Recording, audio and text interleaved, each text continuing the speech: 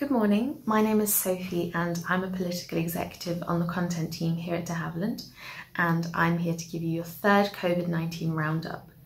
So this morning, the story that's naturally dominating the headlines is the support package for the self-employed that was announced last night.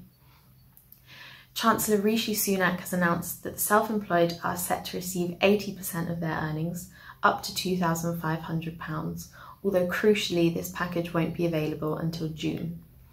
Alongside this, the government has effectively suspended the housing market, telling people in the early stages of buying or selling to delay the transaction and adding that no visitors should be allowed on properties, including estate agents, surveyors, and importantly, people who want to buy the homes. Meanwhile, the NHS is set to start using big tech firms such as Amazon and Microsoft to help them predict where ventilators, hospital beds, and medical staff will be needed the most.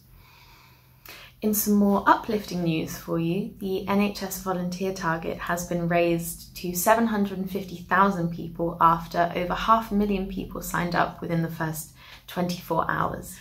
And finally, in what's perhaps the most devastating news since Eurovision was cancelled, the Lib Dem leadership race has been postponed until May 2021 to allow the party to focus on the current coronavirus crisis at hand.